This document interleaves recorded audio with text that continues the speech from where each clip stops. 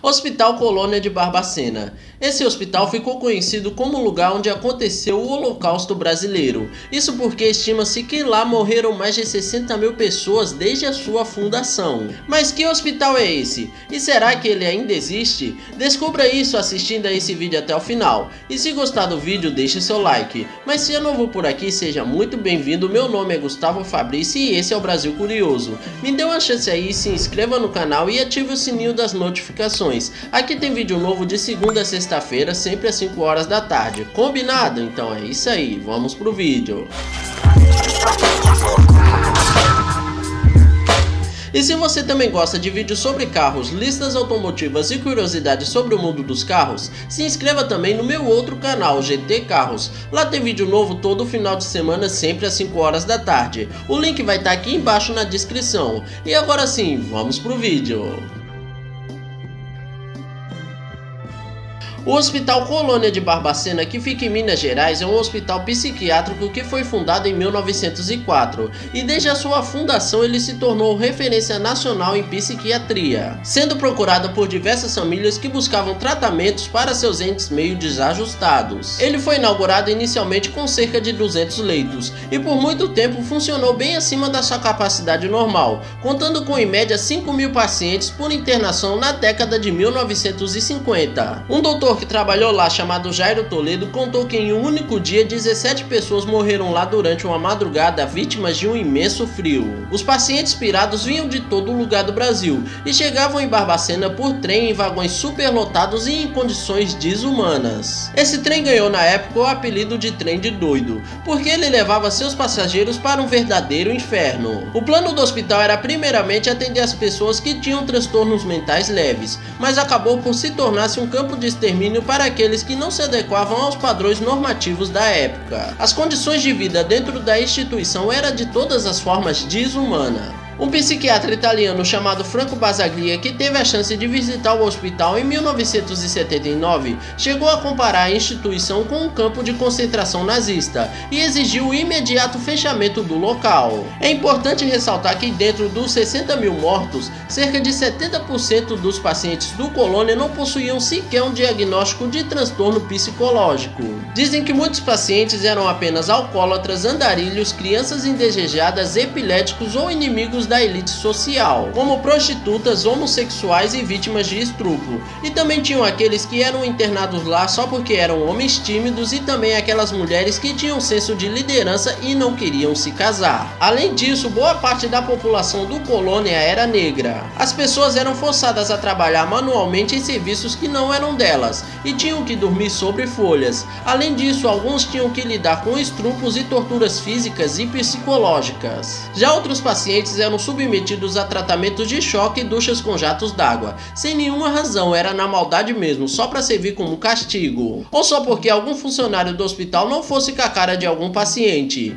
Infelizmente, tinha gente que não resistia e acabava morrendo. Devido à superlotação, os internos andavam parcialmente ou completamente pelados e eram expostos a noites de muito frio que faz em Barbacena. Vários pacientes em tentativas de sobreviver acabavam dormindo bem encolhidos ou juntos um com os outros, mas mesmo assim muitos acabaram morrendo de frio. Nesse hospital, o inferno não tinha sequer água encanada ou comida suficiente para todo mundo, e vários pacientes morrendo de sede acabavam bebendo a água do esgoto que tinha bem no meio do pátio do hospital. Eu acho que eu nunca falei tanta barbárie em o mesmo vídeo. Escuta só essa. Para proteger seus bebês que eram separados das mães depois de algum tempo após o nascimento, as mães se cobriam de bosta para evitar que os pacientes e os funcionários do hospital chegassem perto delas e dos bebês.